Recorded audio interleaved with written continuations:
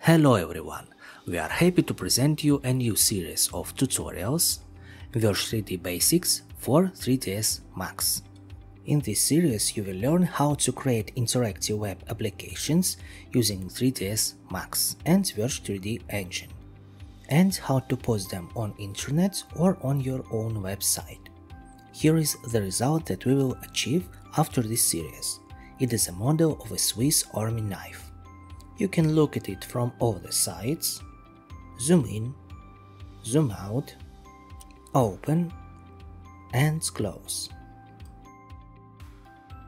All the elements of the knife have informative annotations, which describe their function. Also, you can choose from three different colors, just like in an online shop. As you can see, you don't need any programming knowledge to create this application. You only need your 3ds Max with Verge 3D add-on.